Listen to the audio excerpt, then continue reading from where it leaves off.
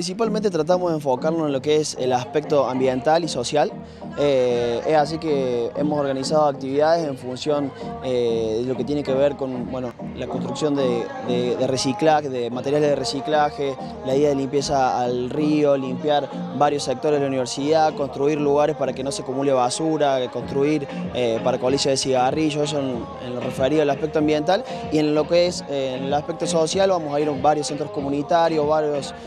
lugares también de realización canina para los animales, vamos a estar ayudando también con útiles escolares en, merenderos, en colegios, bueno, vamos a estar aportando en esos dos sentidos básicamente y en eso,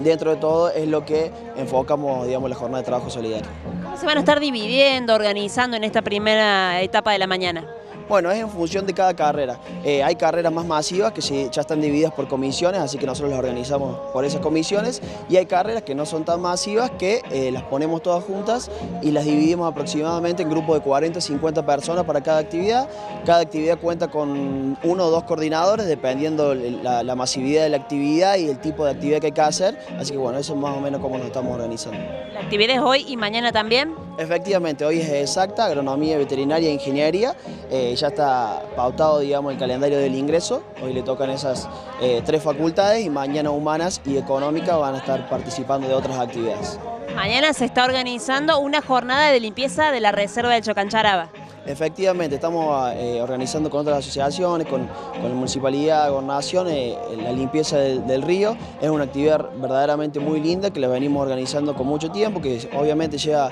bastante esfuerzo y coordinación a hacerlo, eh, pero la verdad que estamos muy contentos de poder realizarlo y más de poder articular con otros espacios, con otras fundaciones, asociaciones, que también es una instancia linda y también que los chicos puedan conocer un poco el campus, que solamente a veces ven esto solamente, pero saben, el, campo digamos, tiene una gran dimensión y por ahí no, no, no conocen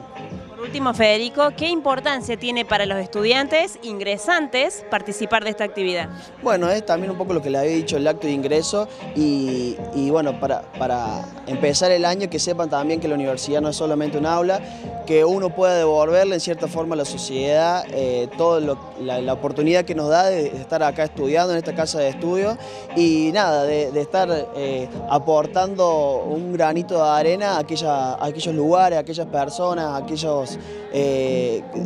seres o animales que, nos necesitan, que necesitan una mano, que siempre están esperando eh, nuestra jornada todo el año para que podamos hacer una determinada eh, limpieza, un determinado arreglo de, de un lugar, nada, así que básicamente eso.